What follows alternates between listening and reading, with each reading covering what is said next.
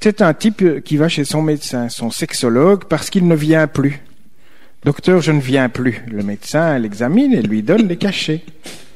Vous prenez ces cachets, si vous venez, ne revenez pas.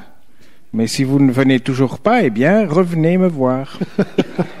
Quelques semaines plus tard, le type est à nouveau chez le médecin. Il s'adresse à la secrétaire. Mademoiselle, je suis venu il y a quelques semaines parce que je ne venais pas. Le médecin m'a donné des cachets et m'a demandé de ne pas venir si je venais, mais que si je ne venais pas, de venir aussitôt.